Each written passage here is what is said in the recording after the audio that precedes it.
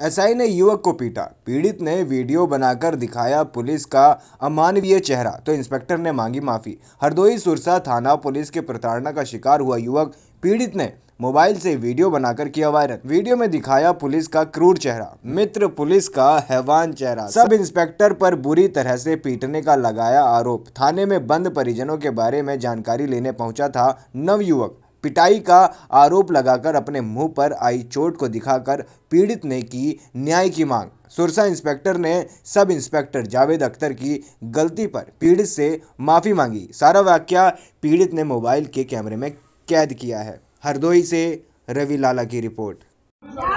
Sir देखिए यहाँ पे जानबूझ के मारा गया ये एसएचओ है सर यहाँ के। और मुझे मारा गया मैं सिर्फ़ मैं सिर्फ़ बात करने आया हूँ बात कर रहे हैं कि तू उधर जा इधर जा।